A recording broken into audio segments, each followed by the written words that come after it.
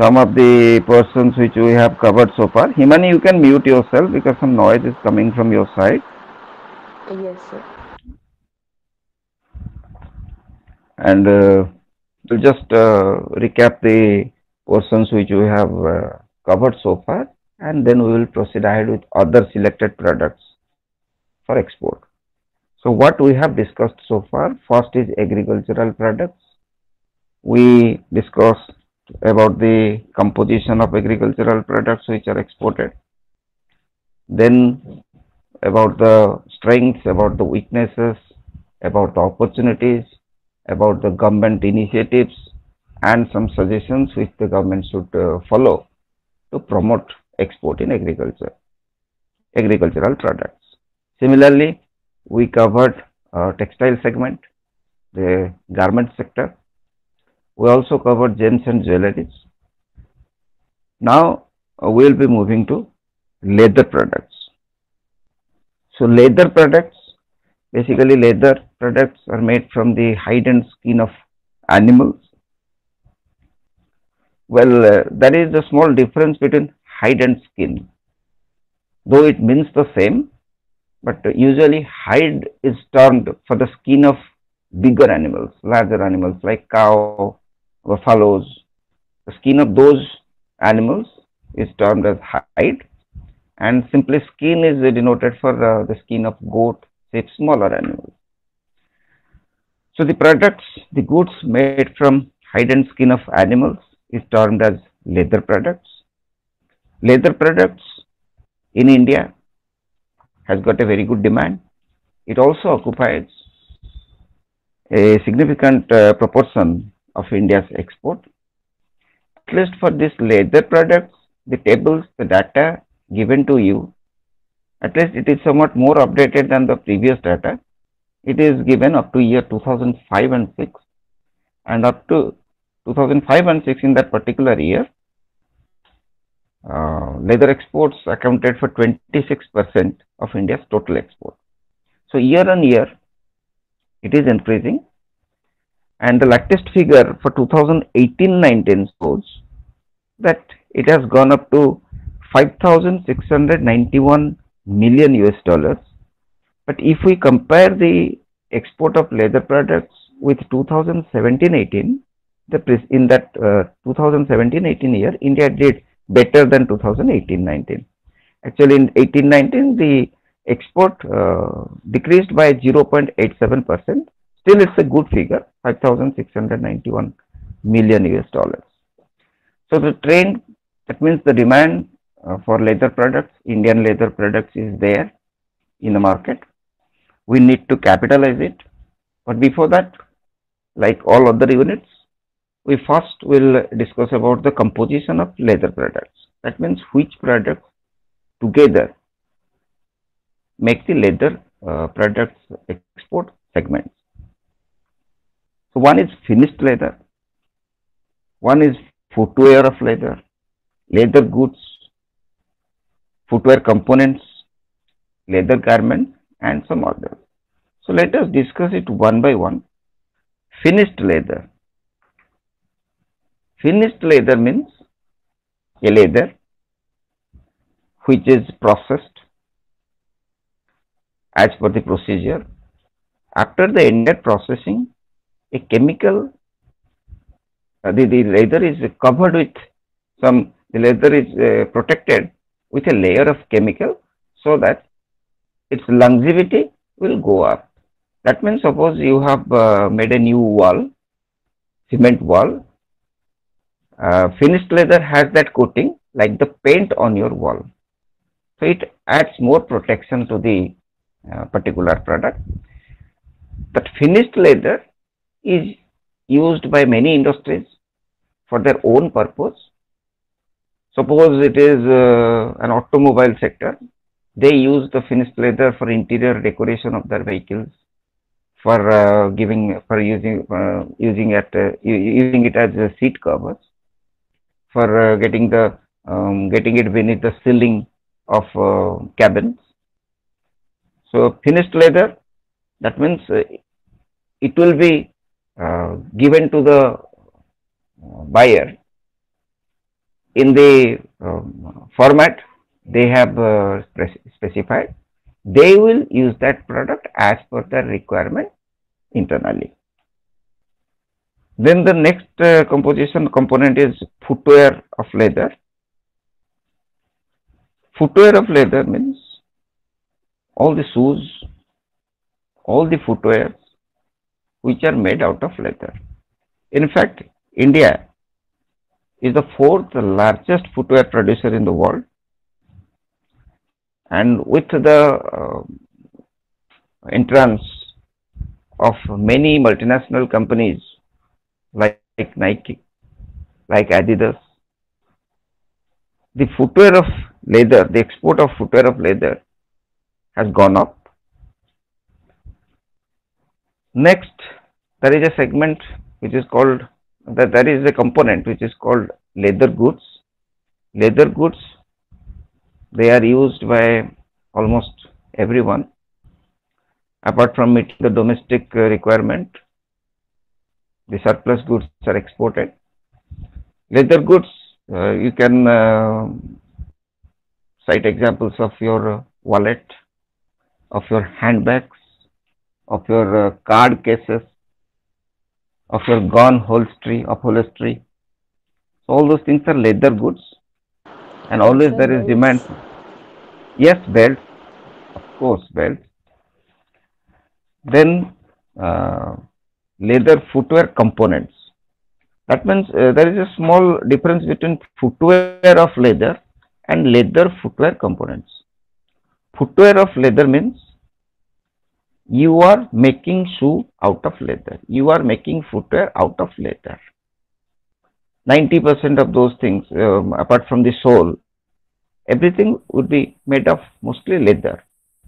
But leather footwear component means you are making footwear and in some part of the footwear, you want to use leather either to make it attractive or to make it look um, um, um sophisticated or for its durability, whatever the reason but some part of that footwear needs to be uh, decorated or covered with leather. So that is leather footwear component and footwear of leather basically means for manufacturing process of footwear. Then there is another component in uh, leather uh, segment, leather product segment that is called leather garments. So leather garments, they could be leather jackets, which is uh, very much uh, required for the cold countries. And it is very uh, it is manufactured in India at a large scale. And once uh, in the previous classes I discussed that though we do not uh, need leather garments more as per our climate but still we manufacture it to meet the export needs. And because of some uh, stiff environmental reason the countries which are importing these products from us are prohibited to manufacture leather garments in their countries. That's why we have a good market. We have a very huge market for leather garments. So, if we can um, uh, overall summarize that who is the or which country is the largest importer for leather products from our country, in all the previous cases, we noticed that in every case, USA is the largest importer for all products from India. But for leather products particularly, Germany grabs the top position, followed by USA, followed by UK and then USA. So these are the things, finished leather, footwear of leather, leather goods, footwear components, and leather garments. Basically, these uh, five elements constitute the leather garment segment, the leather product segment. The most importing country from India regarding this product in this product is Germany, followed by UK and USA. So, if we compare this uh, leather product uh, business with world trade, then we must know some criteria of world trade so that we will be having an idea how or why India has prospect in this particular sector or in this particular segment to grow. If we consider world trade, then as usual in like other industries, India has an advantage of uh, uh, cost effective labor cost, low labor cost.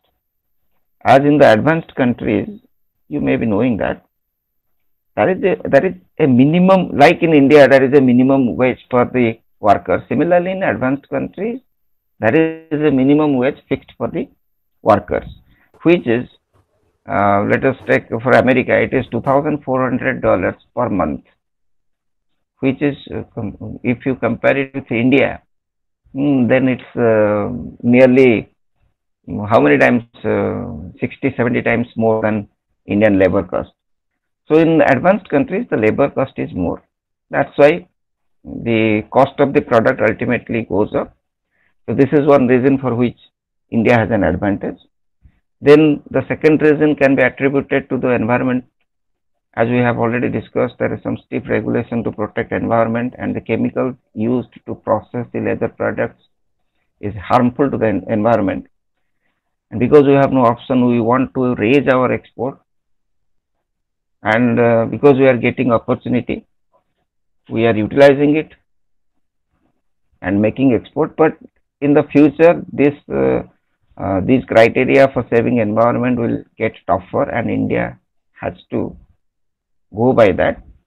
So i i can uh, assume that in future days this uh, figure will not go up as it is going uh, year on year in the same uh, manner. That means it may go up, but with a very less increase in percentage because there will be restrictions.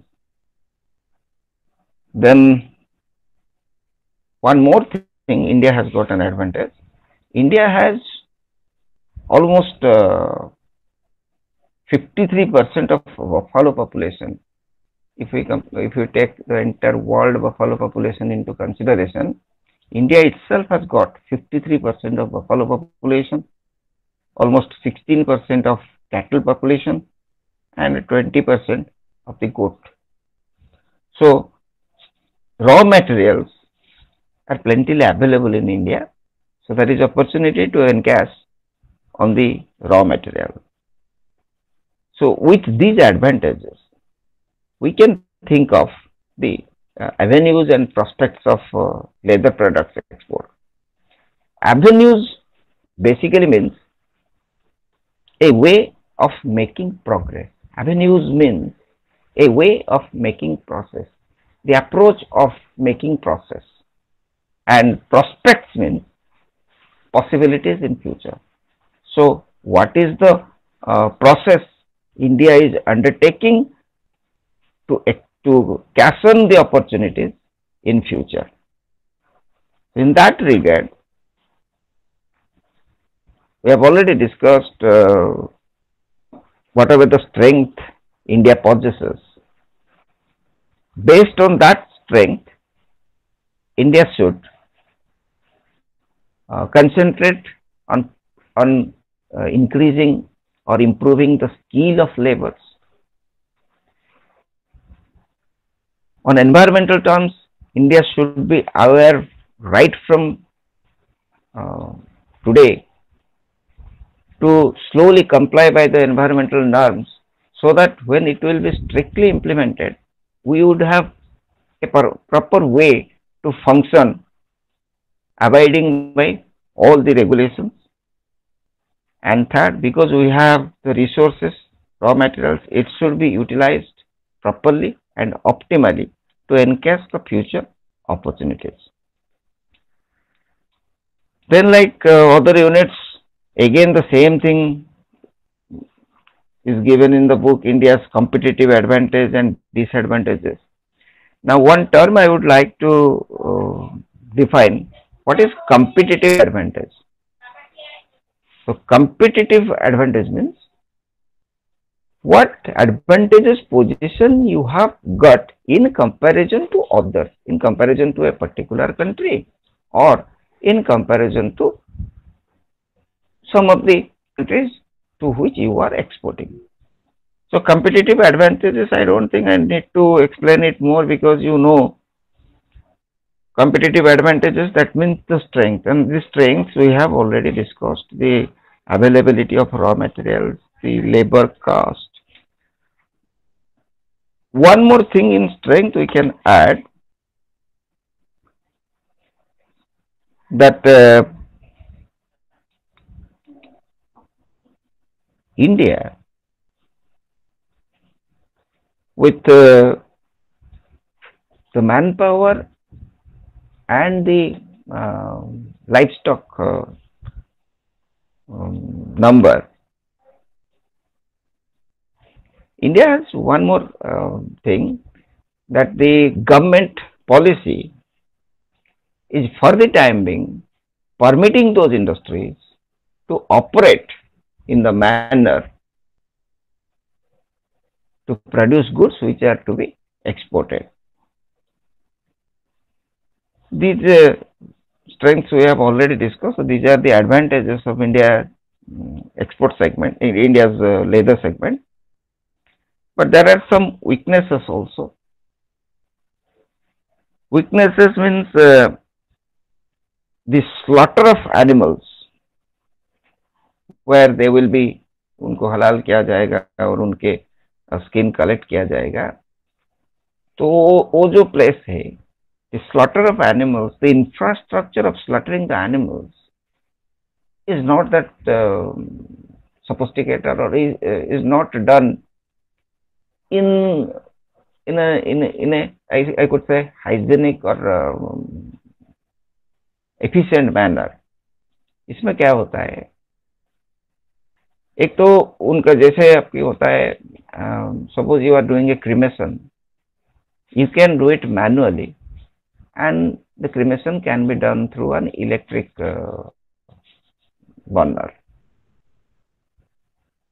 The electric burner is more um, pollution free, is more efficient, everything will be burnt um, in, an, in a uniform way. And pollution will be less. But when you do cremation, as per our tradition, we are doing cremation manually, pollution is bound to happen more. You have to be you have to stay alert all the time those who are uh, associated with that cremation and when the uh, fire is going on you have to be alert to make the fire burn regularly so that uh, the deceased body will mingle. So there is uh, like that difference the slaughterhouses should have modern facilities so that after slaughtering of animals, that place should be should stay hygienic, should stay clean, and uh, the efficiency of doing that work will go up. That is one weakness which on which we have to work on. Next, there should be proper uh, provision, adequate provision for storage and transportation of these hides and skin because because uh, skins are those things if it is not processed or stored uh, properly it will be damaged in the initial stage because it is uh, collected from live animals after their death so storage and transportation facility are weak points of India. Then the quality of accessories to collect the hide, skin and other things of animals, the quality of accessories used in India is not uh, that much sophisticated. And the upcoming threat the upcoming uh, threat to Indian uh, leather industry is that some of the Asian countries which were not um, doing exceptionally well in this particular segment, maybe because they were not giving adequate attention to this sector previously. But some nations, they are becoming stiff competitors of India. And those, I must say, those nations are termed as newly industrialized nations, NICs, newly industrialized uh, countries in India, like Korea, South Korea, Taiwan, Singapore. Now they have also focused on export of leather garments, leather uh, products. So threat from their side to compete with them because of their technology, skilled manpower, they are doing it and they are also grabbing some portion of our market. So these are the disadvantages because of technology, because of uh, skilled manpower, because of infrastructure, because of uh, poor quality of used equipment. So we have to work on that. So when in the next segment we'll be talking about the strategies to boost export, the policies and strategies. I don't think it should be more elaborated because you will feel bored. Whatever weaknesses we have discussed so far will uh, are needed to be addressed. These weaknesses need to be addressed so that we can have a bigger market to capitalize on. So, in uh, total, this is all about the leather goods. And I can just add one or two things um, as far as strategy is concerned, apart from those weaknesses on which we have to work on. Another thing is there in India, leather goods industry is basically reserved for the for the SSI, small scale sector. And previously, just before one month, small scale sector has an investment ceiling of maximum 1 crore. That means these industries exist with an investment limit of 1 crore. So they are very small industries. So within a limit of 1 crore, they just they also don't want to um, infuse uh, new technology, new equipments which will be costing more. Now this ceiling limit has gone up. Now it has gone up to 10 crore rupees. So now it is a good step, it's a bold step from the government to increase the uh, investment ceiling for small scale industries from 1 crore, uh, crore to 10 crores. So now this industry will look to uh, install uh, modern emissaries to use um, sophisticated equipments and they can uh, give more attention to the uh, workplace to the um, processed uh, processing place so that it will be done in a more efficient way. So that is one thing the government uh, strategically has already taken. This is the latest development just uh, announced one month back when the finance minister was declaring about the different packages for different sectors. And rest of the things we just work uh, we just have to work on the uh, weaknesses to make our position strong in the world scenario. That's about the leather goods product. Now you can give your feedback. If you have any doubt you can ask me unmute yourself, interact with me for two or three minutes, then we'll move to the next product.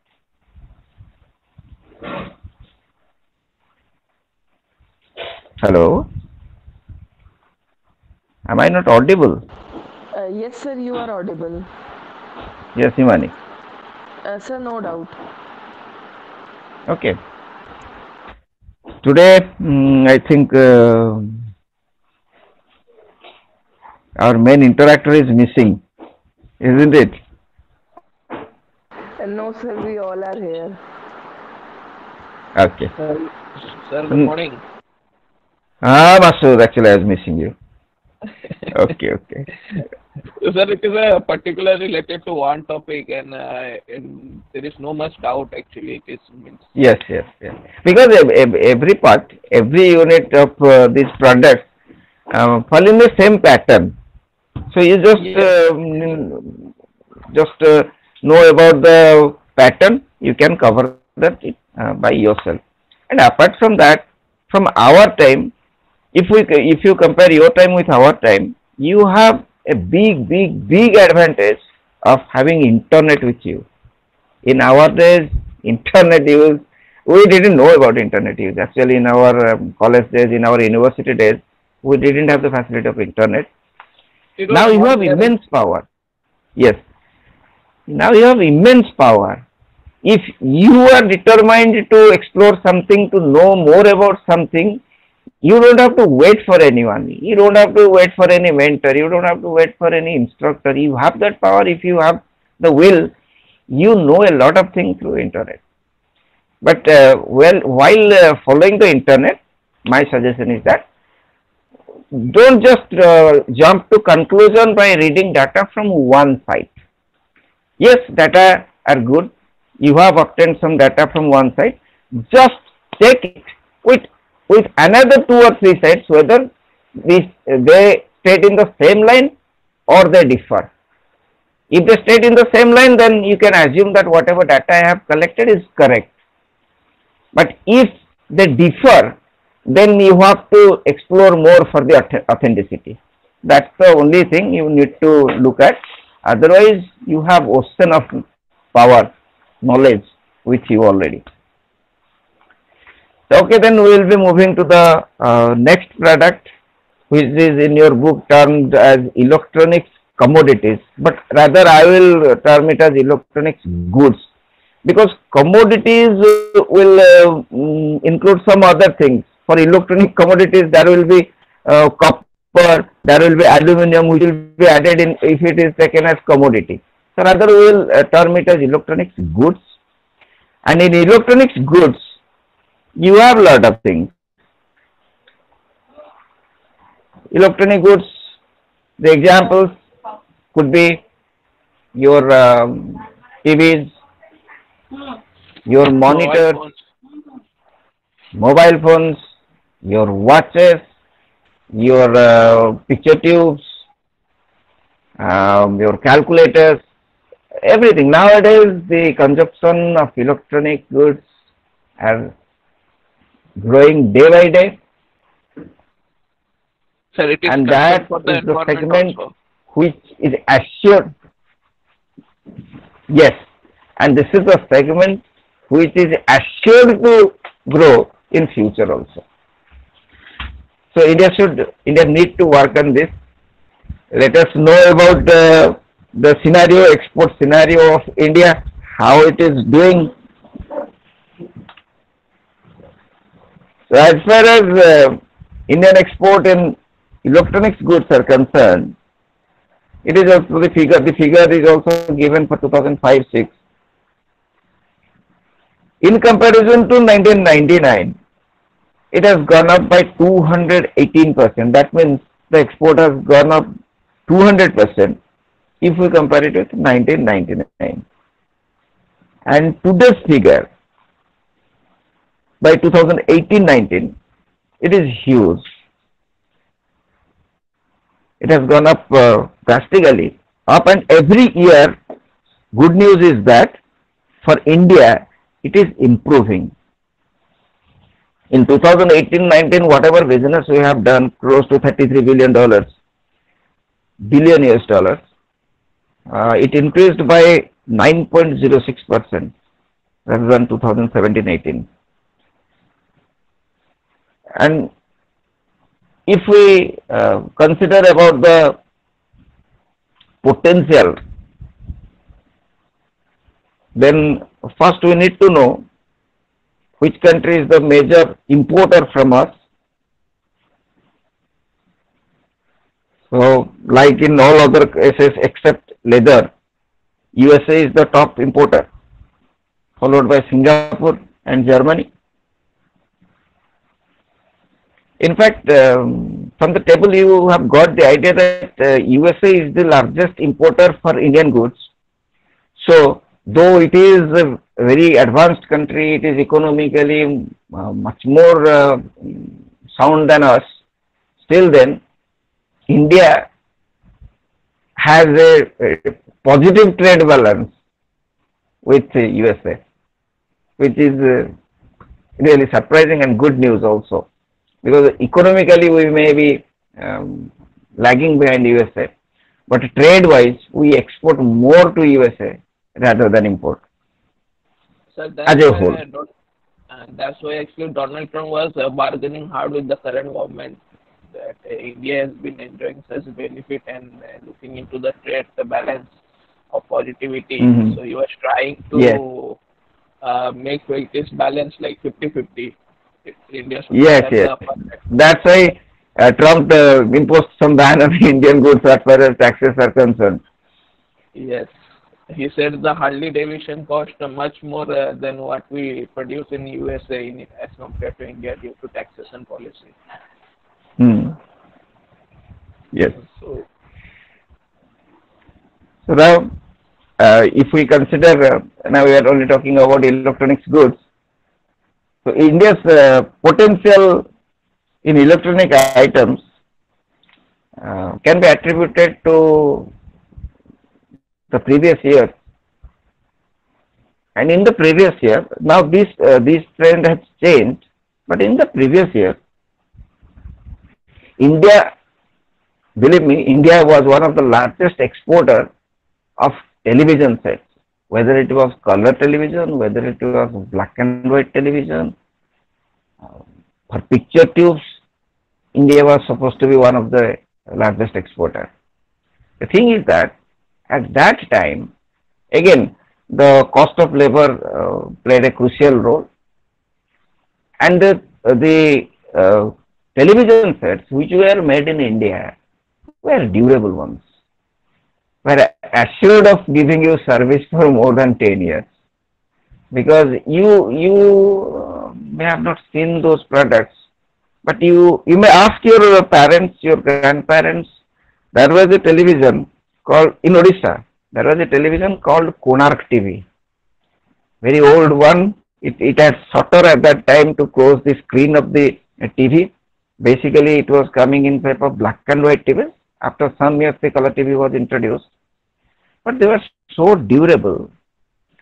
And I know at that time also the picture tube and some models of Konark TV, though it is it was manufactured in Odisha, was exported uh, to many of the European countries. So they, because of their durability, because of their cost, because of, because of their affordability in cost, they occupied a good uh, proportion in our export segment in, uh, in electronics goods color television, black and white television, audio products like the audio cassettes, video cassettes. Nowadays they are very rare to be seen. But have you seen, please one of one or two of you can interact. Have you at least seen those products? VCPs, VCR, Yes, sir. Yes, sir. So and have you seen Konark TV? I cannot Yes, say. You- you can- TV, but I have that uh, black and white TV with me, my of my grand uh, grandfather actually. Yes, you can ask him whether he will be knowing well about the Konark TV. At that time, Konark TV was the largest uh, market uh, capitalizer, market occupier, and followed by somewhat uh, Western TV and Texla TV. Otherwise, Konark TV was supposed to be the best in Odisha. In fact, it was exporting outside. So, in these three segments, India was doing pretty well. Nowadays, black and white TV has gone out color television, many new technologies has come into the uh, field. So now the television set in form of color and black and white, they have gone away. India is focusing more on exporting the picture tubes, the display tubes, which is still very well rated in some of the countries in Europe and Africa. Then about audio products, now the days of tapes are gone. We're um, concentrating on CDs and on the uh, improving the capacities of CD in terms of storing data. Electronic watches, yes, watches uh, uh, also uh, make uh, what Radomex watches, uh, then your uh, uh, Rolex makes watches, but Indian watch manufacturing company mm, like Titan. Titan is not basically Indian company, but it comes to India with a collaboration with Tata. But Titan is a bigger market. because it is meant for general people. So they can um, spend, they, they can afford that watch. But Rolex not everyone can afford. Rado not everyone can afford. They have a different market. So for general people, electronic watches manufactured in India has got a good market. So these products, if we take these products into consideration, we can uh, analyze the competitive advantages and disadvantages. Now you know advantages are the labor um, availability, um, labor low labor cost, low assembling cost. This can add to our uh, advantages. Then the products, durable products. And if we discuss about the disadvantages, then disadvantages are slowly creeping up. Why? Because because we already had a market previously, we are just encashing on our past efforts. But as I said earlier, some of the Asian countries, they are getting developed and they are also uh, given name that newly industrialized nation like South Korea, Taiwan and Singapore. What these countries do, they focus fast on technology. When they focus on technology, they come up with better quality product which uh, cater some more needs of the customers because change uh, in need and requirement of customer are bound to change from time to time. So for the same price, they need some more features, they need some more uh, facilities, which only the technology can provide. So the disadvantage, first disadvantage of Indian electronics industry can be stated as not adopting the latest technology or still using some of the outdated technology, lagging in technology. Then the production. Production, uh, let us take an example. If you are arranging a get together of uh, 20 people, you are supposed to have a party and it, it will be a contributory party. You are um, 20 people who are supposed to gather there. You have specified the items. Suppose it is it becomes 500 per head to make that uh, get together make um, possible. But if you increase that number let's assume if you are uh, organizing a get together of 100 people then you you also know this will not cost you for the same arrangement for the same menu it will not cost you 500 rupees per head. Whether it will go down or uh, go up.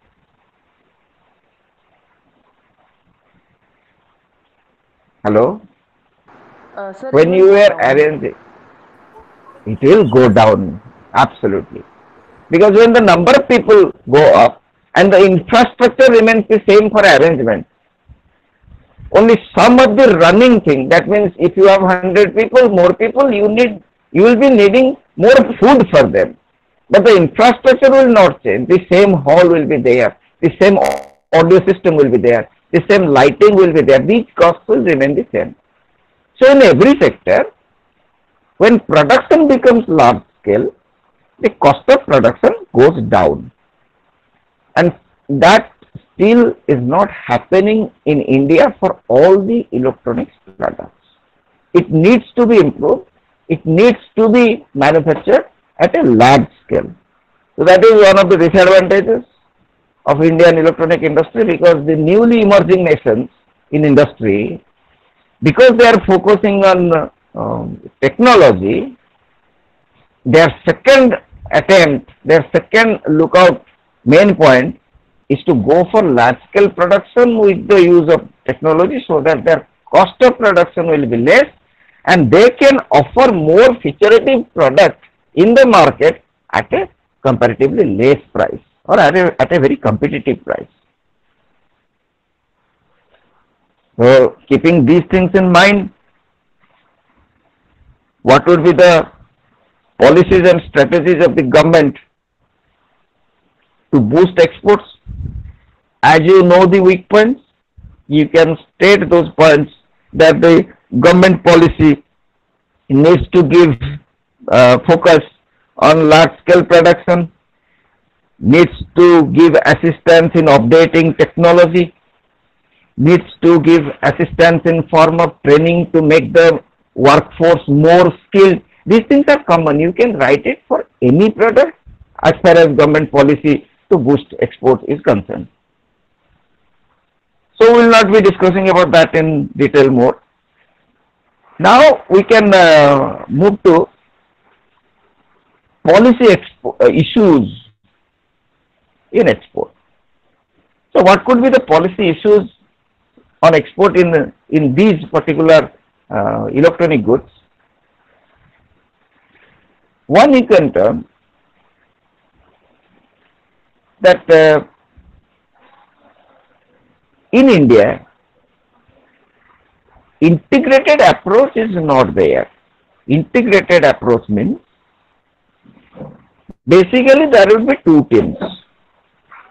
In an organization, three three sections, three departments function. Basically function. One is production, one is marketing, one is finance. But in a broader term, the basic objective of an organization is to produce something which would be marketed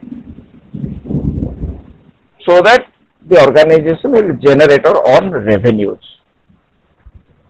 Integrated approach means there should be proper communication, there should be proper balance, there should be complementary uh, functioning of each department, that means the production and marketing, to make an impact in sales in the world market. So they should work in an integrated way. Because if there would be no integration, if there would be no proper communication, then the entire thing will not give you the same result. Because as you know, in a football match, you might have observed many times that a team possesses the football for a longer period of time. Though they possess for a longer period of time with the um, the ball with them, but still they lose the match because the team, the, the, the other team, the opponent, which possesses the ball for a shorter period of time, is more integrated and whatever opportunities, small opportunities they get during the play, they converted into goals. They converted that opportunity into goals. That should be the objective of Indian export policy or Indian manufacturing policy for electronic goods. And uh, another issue uh, for export in electronic goods would be, as we have already discussed, electronics goods are of importance to everyone. It has got a future these goods are supposed to be used by every people. So, because India has a huge population and they also want to use these goods, the production should go up drastically. Otherwise, if you cannot meet the requirement of your people, how can you export? Depriving your people from enjoying something manufactured in your country you cannot simply export everything. If they require that, you have to provide them that. So the production should go up. Now, in case of these issues, that is a comparative figure, a comparative scenario given in your book in form of table, which is uh, given as a comparison between India and the uh, newly industrialized countries, if you understand that, then major part of this uh, will be covered. Let me uh, say, uh, let me explain it one by one in a few words. In India, the production volume is small. In those countries like South Korea and Singapore, they always aim at uh, doing a large scale production. Then for India, production location, that means the units which are manufacturing electronic goods are not uh, in one place or not, are not in any specific zone which is specifically meant for uh, for electronic goods to be manufactured. They are scattered at different places. But because newly industrialized countries, what they do, because they have started late, they have a proper planning. Like the export processing zone, they are making a zone, a specified area for these electronic goods to be manufactured. So what happens in this, if, if, if all the manufacturing units are, are nearby or almost in the periphery of 5-10 kilometers, then the basic infrastructure which the government would develop will be availed by everyone. There will be no shortage in the supply of uh, raw materials, supply of uh, water, supply of electricity um, um, uh, to facilitate their financial transactions. Everything will be there which doesn't exist in India for this particular electronics manufacturing segment. Then uh, one or two things uh, which we have not discussed, I should like to um, highlight uh, those things. Have you ever heard of one thing forward integration and backward integra integration? Let me explain. Suppose you are a manufacturing industry. You only manufacture. For your manufacturing process, you need raw materials. That means you need a supplier who will be supplying you raw materials from which you will be making your goods, finished goods. And after making your finished goods, you will sell them in the market either directly or by some distribution channels or by any marketing agencies. So if you compare these three steps, you keep yourself in the middle. At your back, there will be the supplier who will be supplying you things and ahead of you, at your front, there will be a marketing distribution channel. So when the manufacturing unit, it acquires or merges, it acquires a supplier or raw material supplying organization, it is called backward integration. That means it owns, it acquires the organization so that it has ensured the supply or it has taken the responsibility of the supply to be obtained from the same sources. Simply, similarly, when the organization acquires a marketing distribution channel, it is called forward integration. Simple thing. In India, these, these type of integration doesn't happen frequently. All these units that stay separately, they want to bargain on each other. And uh, at times they also there is some miscommunication and miscooperation also, non-cooperation. So, in India this integration should take place, whether it is backward, whether it is forward, if needed it should take place, which has not uh, taken place uh, frequently in India. But in those countries, in those newly industrialized countries, these things already, these things are already happening and this is actually strengthening their um, electronics industry. So these are the main differences. Other references you can, other inferences you can draw from these points that if they are uh, going for uh, large scale production in those countries, the cost of uh, production would be less. And uh, because they are uh, mm, mainly depending on the machineries, so they need less personnel to be employed in that particular manufacturing process. And uh, they may be needing less personnel but these personnel need to be trained adequately, these personnel need to be skilled. So actually the other countries, the newly evolving countries, they are working more on the productivity of personnel by using technology and by updating their skills, which India is lacking and India should work on that. Okay. Is there any doubt? You can interact with me.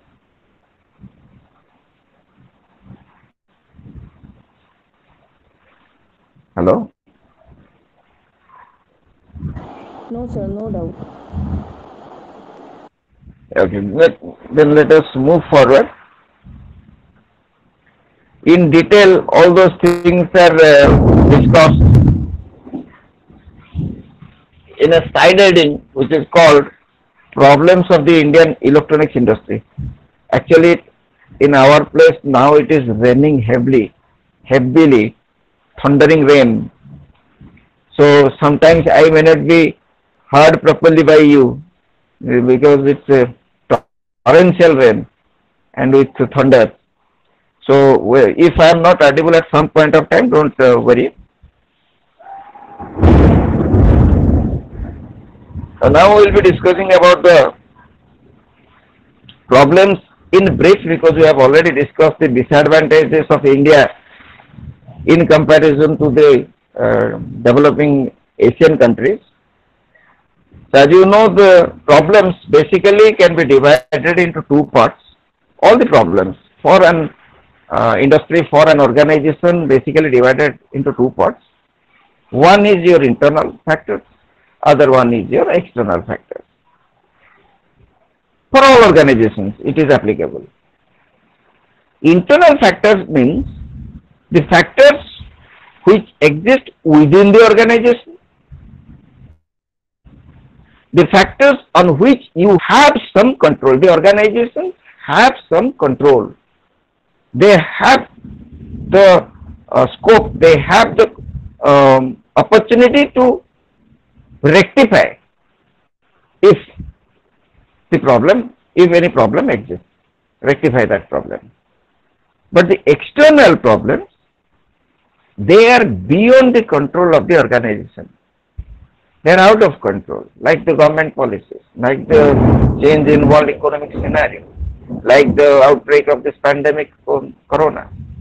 So those are the external factors on the organization doesn't have any control on the external factors. So see, the company, the organization focuses more on the internal problems to be sorted out and uh, when external factors occur to hamper the process of producing something or marketing something, they minimize their weakness and maximize their strength to tackle the situation. They can eradicate the situation because they don't have any control over that.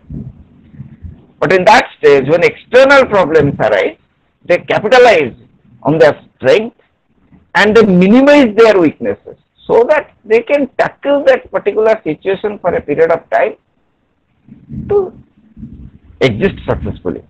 So for internal problems for this industry, we have already discussed the small capacity of production, uh, the location disadvantage, that means the units are dispersed, they are not um, situated uh, within close vicinity of one another. Then we can um, um, state points that uh, um, that is no sincere effort either from the organization or from the government to make integration either backward or forward integration. Um, not much effort is given for the updation of technology, the uh, product production process. So these are the internal problems out of which uh, two or three things will be addressed because of the new uh, norms and condition applied by the implemented by the government. Now the small scale industries they can uh, invest up to 10 crore rupees and many of these things could be done when investing 10 crore rupees because they will be getting finance as per the terms and conditions up to 10 crore. So now they have money, they have fund, so they will work more sincerely. Then another disadvantage of external uh, problem, if we consider for India, external problems start with problems start with MNC, multinational companies. For multinational companies, what you can do? They exist externally. You cannot drive them away. You cannot put restrictions on their business. So external uh, problem, if it comes from MNC, you have to match with their standard to stay in the market. So that is a problem. You have to raise your quality. You, you have to raise your, the standard of your goods so that it will be competitive in comparison to the products offered by MNCs. Similarly, you have to make your uh, personnel skilled to compete with the NICs, newly industrialized country. You have to uh, you have to pursue the government to reduce domestic taxes so that your product will be more cost effective. You have to uh, pursue the government to uh, provide you a better infrastructure and export logistics because these things are beyond your control. You cannot develop a port. The government has the responsibility to develop a port, to develop the roads, to develop the means of transportation, to develop the means of storage. So these things are external things which you need to uh, ask the government, request the government to do. And the suggestions, you just go through the suggestions, whatever uh, weaknesses we observed, whatever problems we have detected in form of internal and external, we need to work on those things to come up with a better result and that would be the suggestion. So with this also we uh, conclude the uh, part of electronics goods exporting. So we can take a break. Some of you can interact with me because next we will be moving to engineering goods in the same pattern. You can take a break and uh, ask me some of you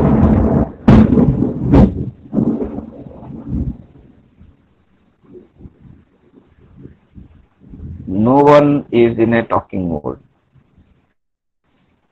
Well, uh, let me ask some uh, new entrants which I with, with whom I have not interacted so far. Uh, Sibanand, Sibani, Purendra,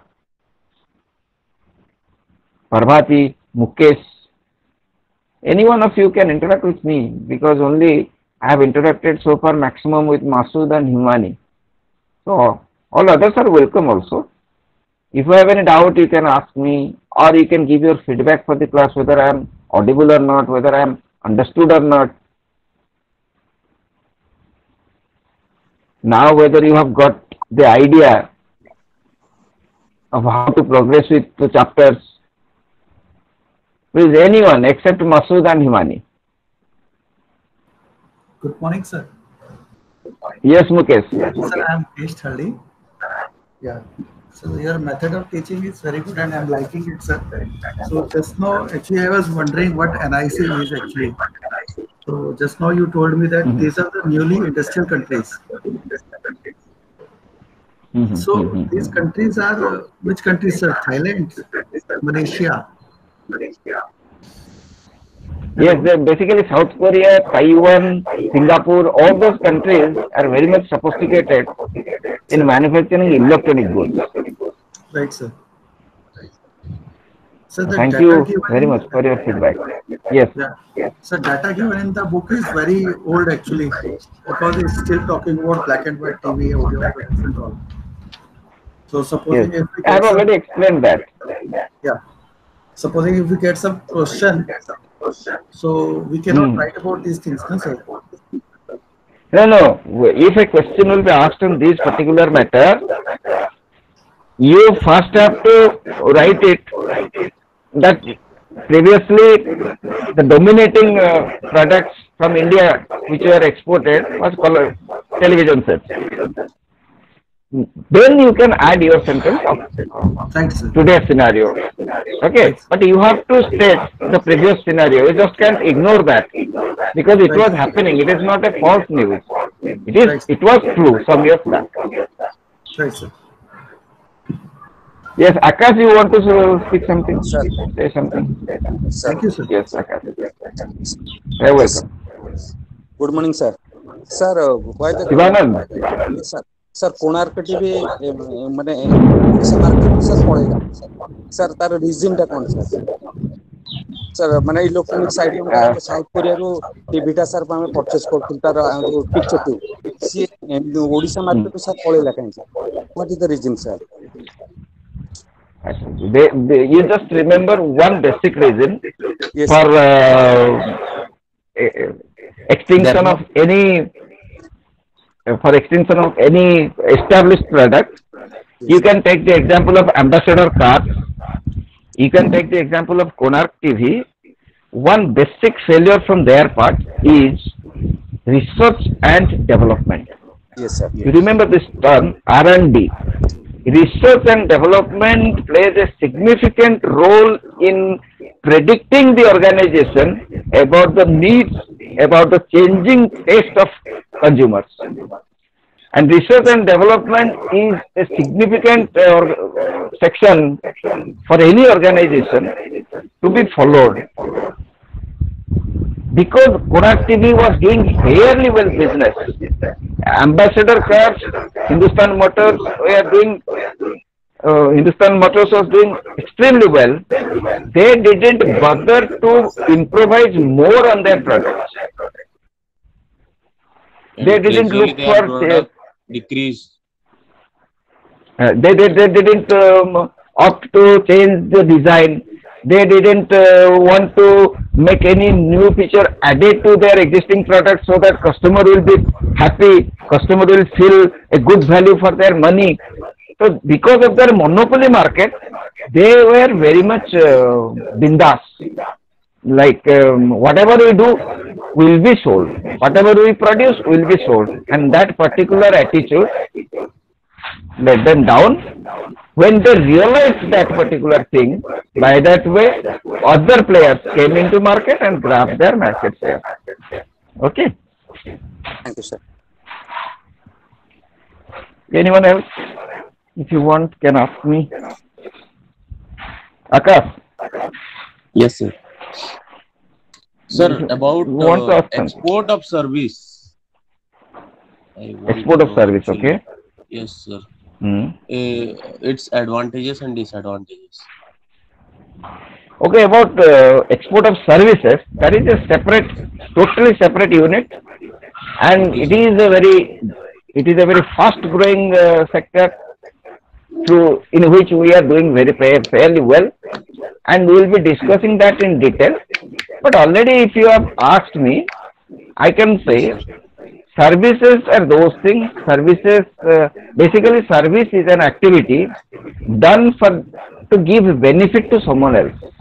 Okay. Service is an activity which is done to give benefit to someone else. The person Yes, for whom you are doing this service, if he is he expresses his willingness to pay you something, then service gets uh, a monetary value. Because if you do, if you are doing social service, you are not charging anything. But if you are rendering a consultancy service, in case of advocacy, in case of uh, medical, in case of uh, education, and for that, if the party which is uh, um, availing your service, giving you some money, then we can term that service as just some monetary value.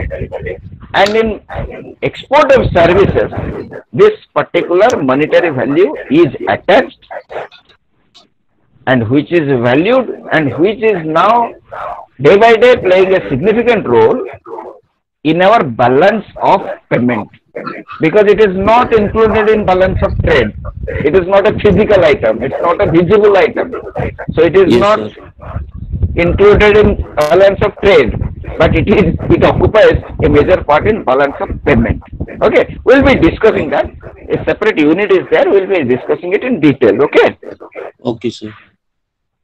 So now let us move on to uh, engineering goods, and those who who have unmuted can mute themselves so that I can be clearly audible to everyone. Okay. Now we will be moving to engineering goods. Engineering. Engineering means you are doing some something, some uh, machines to make the work of human beings much easier. Engineering. You are making something. What things you are making? You are making something to make the efforts, to make the work of human beings much easier. You can take the example of a mixture grinder. That's a machine. Instead of uh, pressing the spices on a mm, piece of uh, stone, it's better to do it with a mixer grinder. Similarly, it's a fan. Manually mm, doing um, the fan process and when the motor is driving the fan, we are getting cool air. That's a machine which is doing the work for us. Similarly, the elevator. So, the engineering goods, the basic purpose is to make some machines which will make your work easier. Indian engineering uh, industry, if we consider it, then there would be a lot of sectors which will altogether make Indian engineering industry. And basically the engineering industry in India is uh, considered for some heavier items. Heavier items like, we can talk about automobile industry. Automobile industry in India was growing at a good uh, pace because of this current scenario, every sector has gone down in sales, and so also the automobile industry. But till 2018-19, automobile industry was doing very well. In fact, many of the established brand in world market have come into India to manufacture their branded product. And how why they were coming? As you know the same reason for the same reason labors would be available labor cost will be low. So if they manufacture in india they will be having a less cost of um, cost of production and with that price they can export from india the same product to other countries to earn a better profit so india has become a good place for the automobile industry. If you are operating with automobile industry, then you are supposed to be manufacturing auto spare parts, auto components. Because the automobile industry, actually the automobile industry facilitates a lot of ancillary industries. Ancillary industries means there would be a main core industry and to supply the required materials to the core industry, some other industries will exist around that industry, that core industry, that main industry to supply some of the ele- um, elements, some of the components very much required by the main industry. So this, when the automobile industry exists, it doesn't manufacture tires and tubes. Tires and tubes are manufactured by someone else, some other companies and supplied.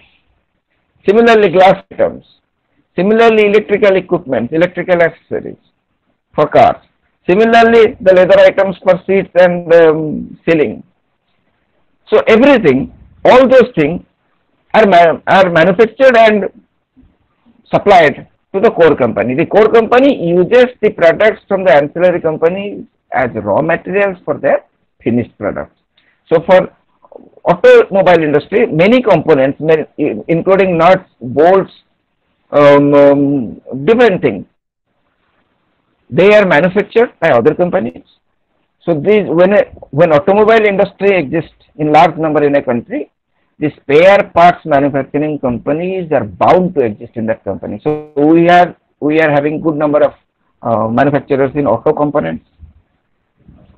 Then our engineering industry, um, another uh, segment would be there, which would be manufacturing agricultural machinery.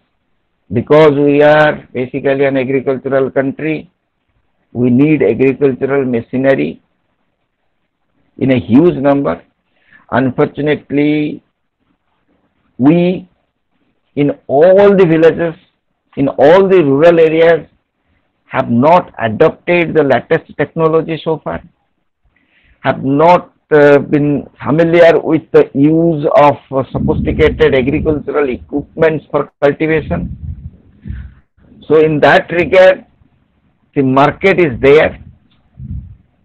We need to develop our products and to make our people aware of those things. So for that reason, we manufacture we manufacture many agricultural machineries, but many of them are not opted by our consumers. So we export them to other countries. Apart from agricultural machineries, there are machineries which are called earth moving and construction machineries. That means those machineries which are essential for construction work. You can take the example of cranes. You can take the examples of JCBs. These two would be the um, easiest uh, examples to cite on. Earth mover and construction machineries. Then simultaneously when you are moving these huge machines you must have an infrastructure to develop engines and basically diesel engines. So diesel engines which uh, make the bulldozers the jcbs the um, cranes to move those engines are also devised in india. And previously diesel engine still they are in use in case of railways also. The diesel engines are also manufactured so this is one of the engineering industries. Then electrical industry. Electrical industry means not electrical equipments. Electrical industry means those devices needed to produce electricity. Suppose it's hydroelectricity. You will be needing a turbine. You will be um, needing the propeller you will be needing uh, which called uh, boilers. You will be needing switch gears. So boil boilers will be needed for thermal power. I was talking about hydroelectricity. So for hydroelectricity, there will be uh, your uh, um, turbines. There will be um, switch gears. Switch gears means uh, line will be shifted from one to another and for all electrical industries transformers will be re required. And in case of um, power generation from coal boilers will be required. So these huge machineries are manufactured in India. And as you know for electrical equipments there is a uh, very uh, big organization which is called BHEL Bharat Heavy Electricals Limited. It's the largest manufacturer in India in case of electrical uh, goods are concerned. And basically electrical industry here signifies the industry, the manufacturing goods which are instrumental in producing electricity and uh, distributing them across the country, those uh, uh machineries and equipments. So when electrical industry exists, there must be some transmission line towers. That means you have to manufacture OER, you have to manufacture um, the materials to build up towers. So all those things combinedly make Indian engineering industry. One thing about Indian in, Indian engineering industry is assumed is uh, conceived by the entire world is that it produces durable things. It produces durable things. But how far it is uh, done with uh, the adoption of sophisticated technology, that is a question mark. But whatever things are done, it is durable. But what happens actually, every time durability doesn't serve the purpose. Suppose, let me give you an example. Suppose you are building a house, okay, and you want, as per our previous assumptions, everyone wants to um, to make a solid foundation, to lay a solid foundation. It is a, it, the house you are building for a domestic purpose. Initially, you have uh, planned to make two-storied building. So, um, how much um, in the foundation you should lay foundation for how many floors? If you are intended to do a two-storied building, you can lay the foundation for for a three-storied building or at best for a four-storied building. You don't need to put the foundation for a ten-storied building because you are doing it for domestic purpose. You you do you will not get the permission. Just a minute, friends. Um I have an important call to attend, so let me mute myself in that and uh, attend your call.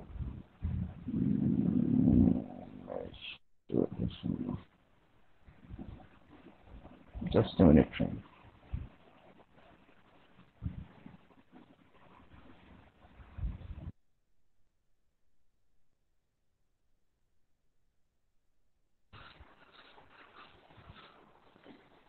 Uh, we have created a WhatsApp group and a link has been shared.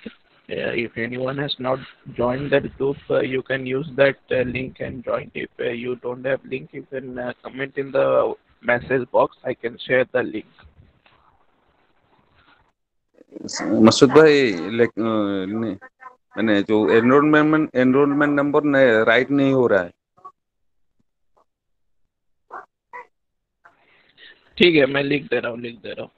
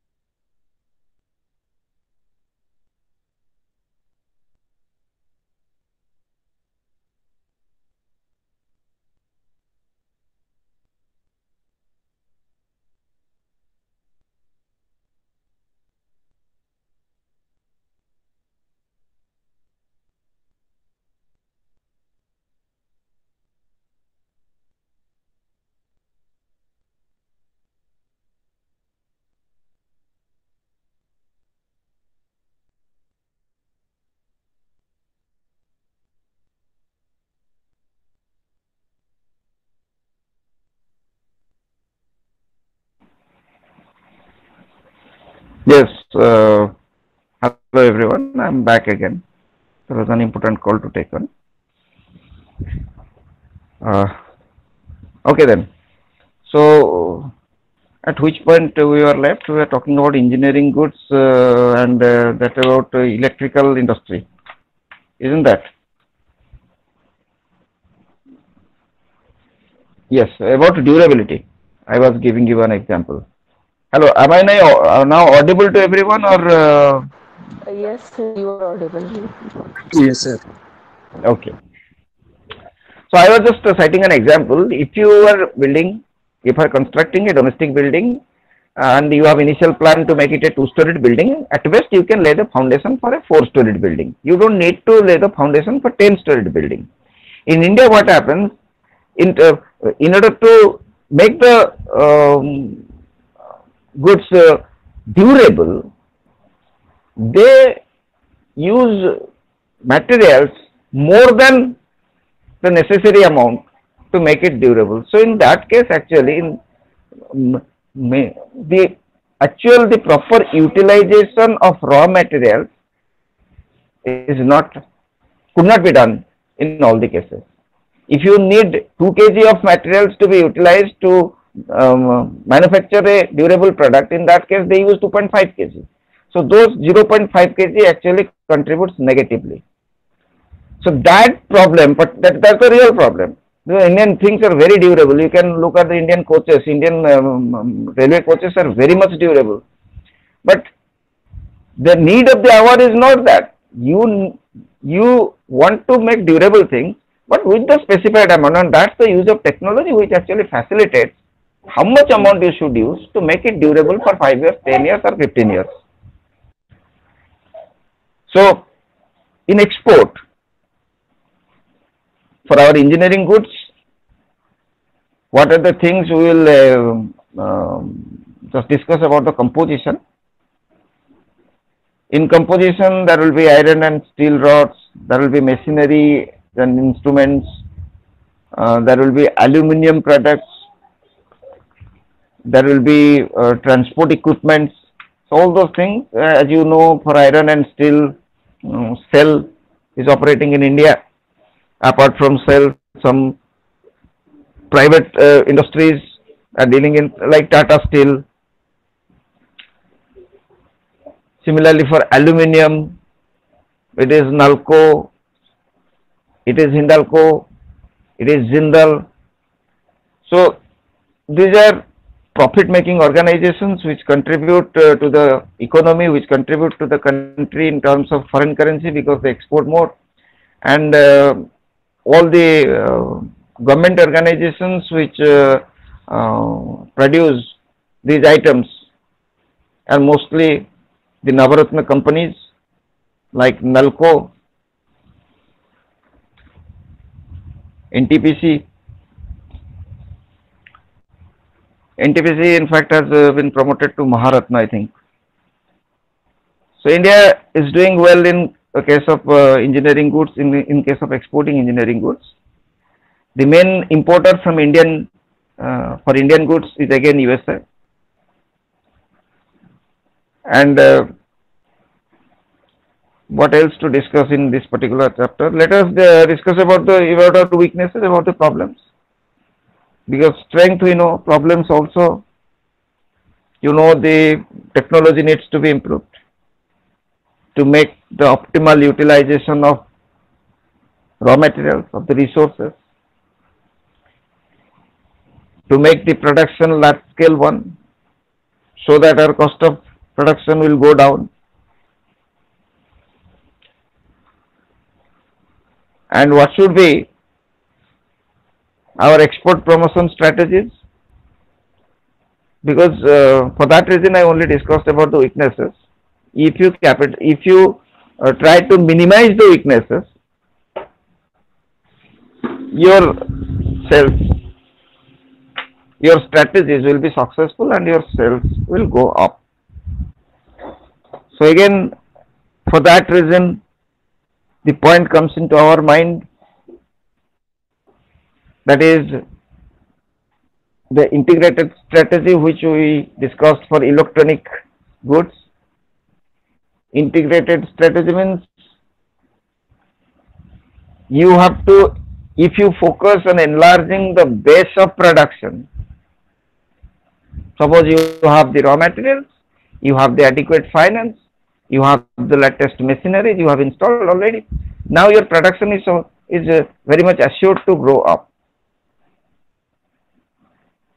Then you must expand the market for you. You must create a bigger market for you. So that should be proper integration between the production and marketing. If you are supposed to produce more, then prior to that, you have to make a market survey. You have to enlarge the base of your market. Otherwise, you will be producing more and you will be stuck with the surplus products you will not be finding a market to sell them out. So simultaneously both these, both these things will go. If you are adopting a new technology for to enlarge the base of production, simultaneously the effort should go there to enlarge the base of marketing. That means you have to look for new market. You should explore new market. The possibilities in new uh, market means new countries so that your product will be sold. So that is that should be the strategy. Both things should go side by side. Then another strategy specifically given in this sector that is called selectivity approach. Selectivity approach states that don't um, manufacture hundreds of things, rather you focus on 10 or 15 things which you think will be more fruitful for you. That means instead of manufacturing hundred of things in small numbers, you can focus on 10 or 15 things which are of high demand in the world market, for which you have plenty of available resources in terms of manpower, in terms of raw materials, in terms of finance, in terms of technology, in terms of skill. If you are comfortable in all those things, rather you go for 10 or 15 products and produce them at ma massive scale so that you will be have a um, um, cost of production much lower and your products for those particular products you will have a bigger market. So a selectivity approach is now of demand is now of need for Indian engineering industry because the main reason is that for every manufacturing uh, things, manufacturing goods in engineering, we cannot have the sophisticated technology implemented in every segment. That's the practical reality. That's the reality. So, we need to focus on some of the products on which we are comfortable and go on producing them more and getting them sold in the world market at a large scale. Then if we go through selectivity approach, then technology upgradation needs to be done on those particular um, segment. If you are producing more than by upgrading technology, the marketing reorientation. Marketing reorientation means Atma Anusilan, self-analysis. The market analysis should be done on the basis that the market, the existing market how it has reacted to our product, where we have gone wrong, where to tap in this existing market and which new market to be tapped for the products. And that is your research and development part, which costs for an organization for that reason because it is expensive. Many of the organizations they don't go for that research and development. Sometimes back someone asked me about the extinction of, uh, about the reason for extinction of um, Konark TV. So I explained him with the example of ambassador cars also. They didn't give ample scope for the research and development because it costs a lot.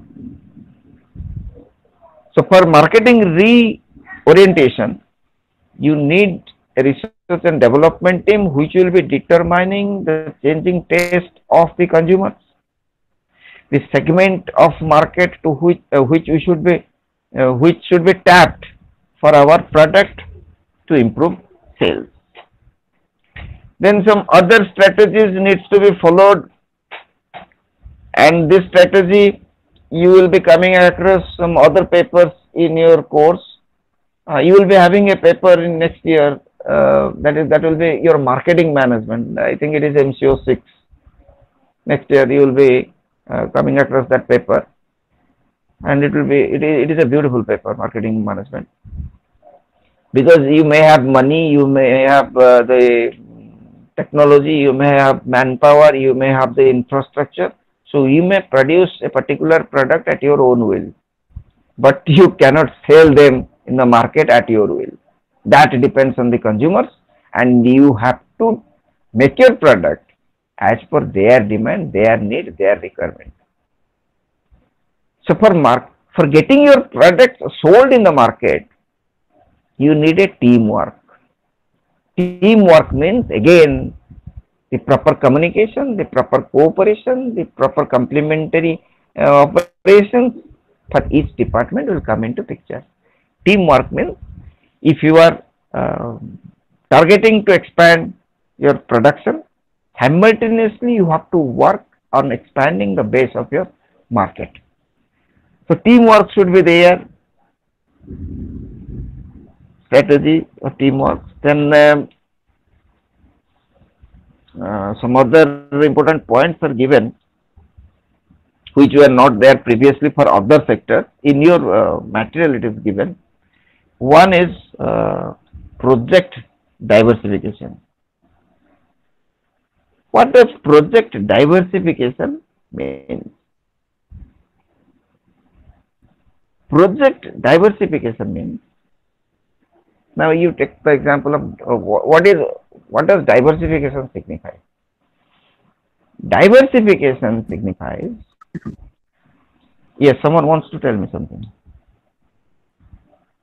Sir, uh, diversion means a new product, uh, switch over to other products.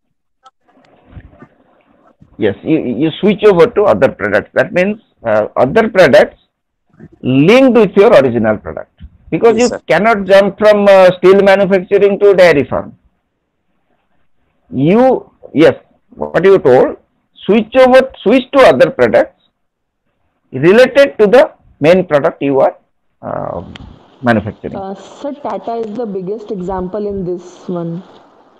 yes carry on and give some examples for the benefit of others very Uh, good Sir, like Tata used to make cars, now it is Tata Salt, Tata. matlab many things are there under that umbrella.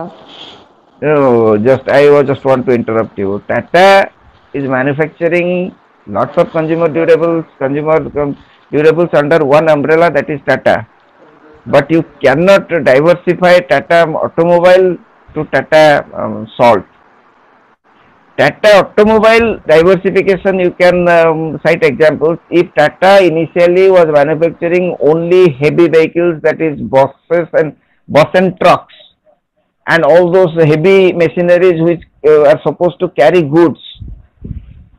When Tata observed there is a market segment in India which look for uh, passenger cars, very late Tata entered into that market. That is diversification. Tata entered into market with passenger cars and that was called Indica and Indica clicked well. And thereafter slowly they um, went into uh, manufacturing of passenger cars.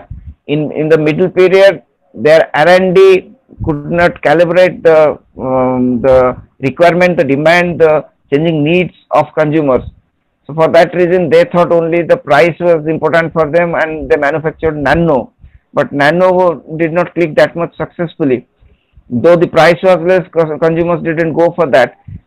So after particularly that period, now Tata is manufacturing like Tiago, like um, uh, um, Tigor or uh, the Harriers, and they are having a good market because this is called diversification. They were previously manufacturing only transport uh, vehicles. Then they manufactured only passenger transport vehicles. Initially, they were um, making goods transport vehicles. Now, then they come to middle segment cars. So that is the range of diversification.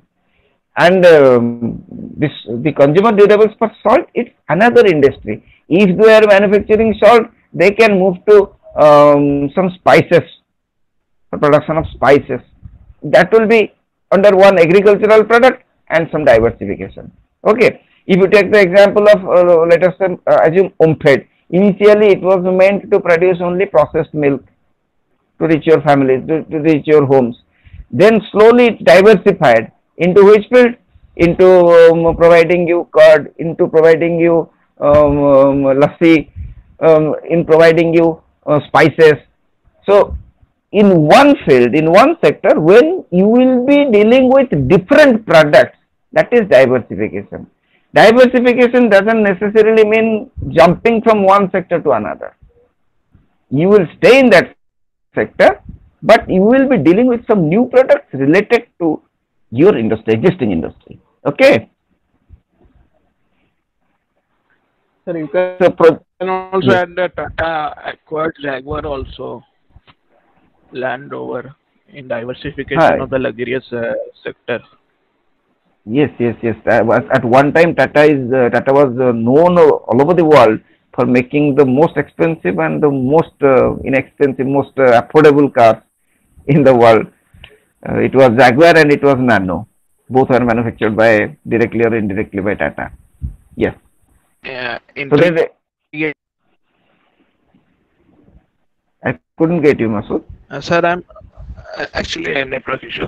Uh, I was saying that uh, Tata acquired a Land Rover, and Hmm. which is the uh, you can see as a diversification in the category of the luxury segment also because Tata produced for the lower middle class. like The example of Nano. Now they are heading at Tiago and all that uh, for the upper middle class, and the Tata Harrier is uh, located for the uh, ultra means rich, and uh, Jaguar you can say as ultra rich. And one more thing Hmm. I want to add that uh, the example earlier what you have given regarding the backward and the forward integration. Uh, the example of the Tata can be taken for the Tata Steel. Uh, is been producing and those steels and the elements have been used for production of the cars also. So it, it is interrelated, like uh, you can say. Yes, yes, yes, yes, absolutely. So project diversification, you can uh, do with some uh, newer products as per the requirement. Then one more point to be considered in this regard, um, that is uh, uh, given as third world ties. That means if you cannot penetrate a market in the developed country, there is also another market exist in the African countries, third world countries in which your product will be treated as a sophisticated product. So you can explore that market, nothing wrong in that. So instead of exploring the market, it is suggested that you should have tie-ups with third world countries to sell your products. It's a good idea, nothing wrong in that. When Maruti was producing in the initial years, most of the cars were uh, initially exported to countries in Africa. Thereafter, Maruti was uh, appreciated as a good uh, family car. And then also to Europe we started exporting. But in the initial years, it was uh, exported to the countries in Asia and Africa only. So, third world ties should be there to promote our uh, export. Then there are some other points. Uh, I need to just elaborate on uh, two or three. One is uh, interesting point. One is uh, educating buyers abroad. It's a very interesting point. Educating buyers abroad. How will we educate? Here, educate means to give a proper impression. To give the Sir, you buyers. say that, uh, yes. hello. Hmm. Sir, you can give the example the earlier in, a, in the year 2010 or 2015 in that period, uh, the government has promoted that uh, Jago Grahak Jago uh, to Hmm. make the awareness that malpractices, the deteriorate, that quality deterioration, and all that things uh, which uh, buyers should be aware that how the sellers have been manipulating and uh, black coding the things whether it is Mhm. measurement or whether eating uh, inflating the uh, price also we have seen a lot of scams in the pds also nowadays it has been going but to the minimum uh, stage but earlier it was It's large going down. Yes, yes, Yes. it's going down. Good example. That was an education for the consumers to be aware of their rights, to be aware of the practices which are prevailing around them. Similarly, here educating buyers abroad means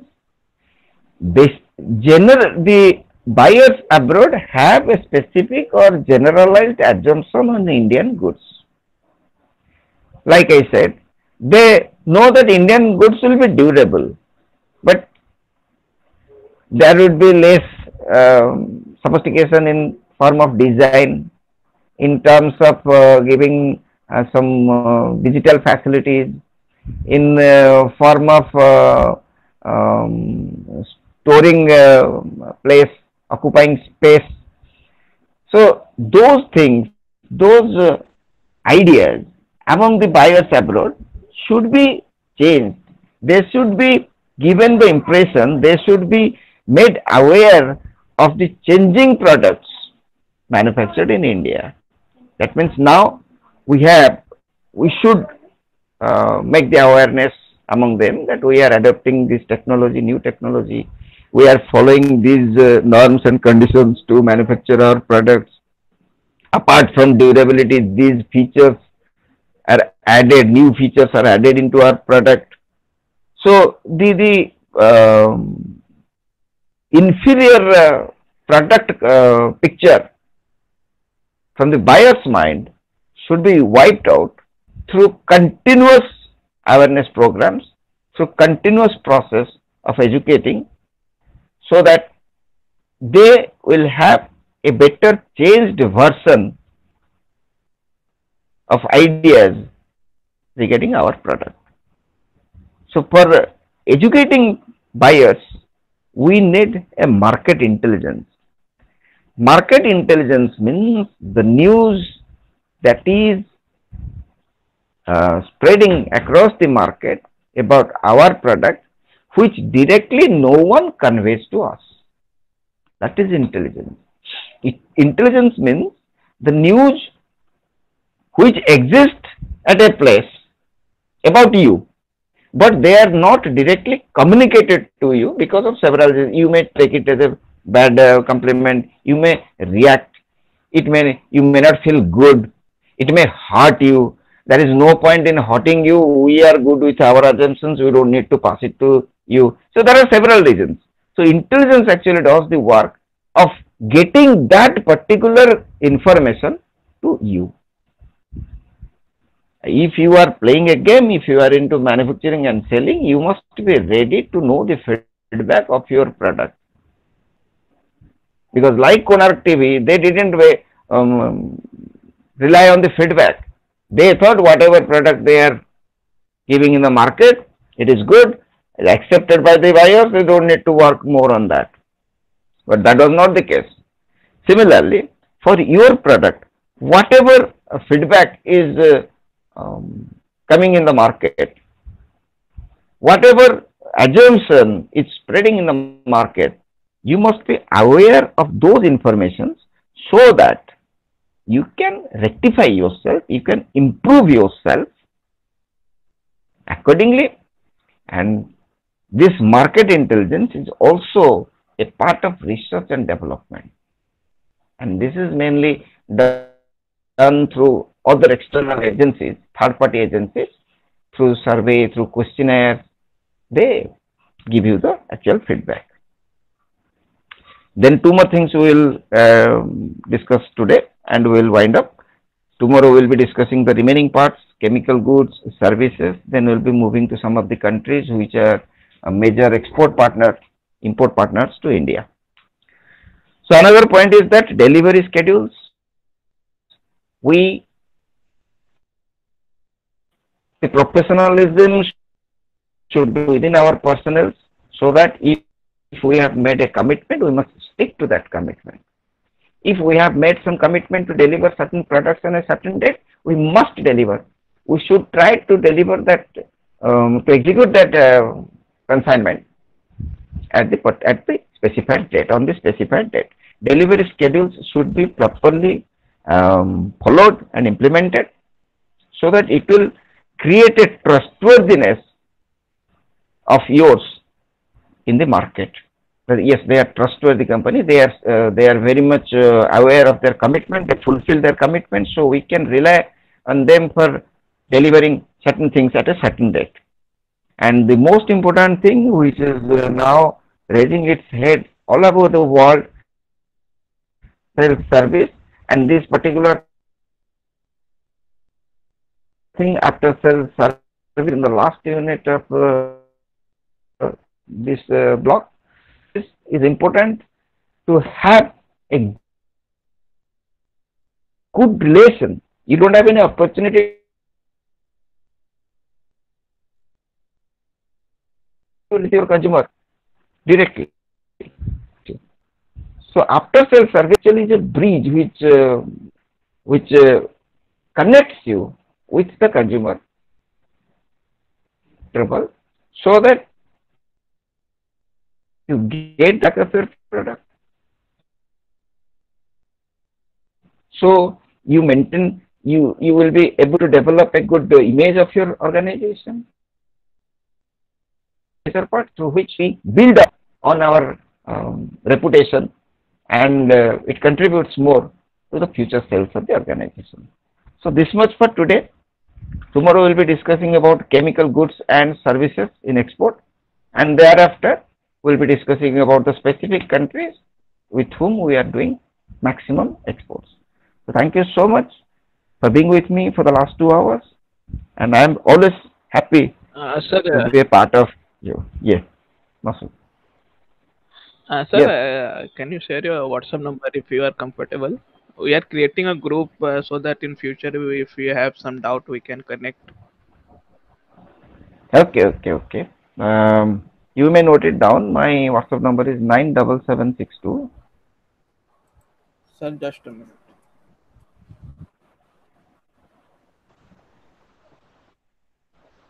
Nine uh, double seven six two four double two four double two four seven. four seven. Okay, sir. Thank you, sir. Okay. So it's all for the day. Have a nice day. Thank you all. Bye.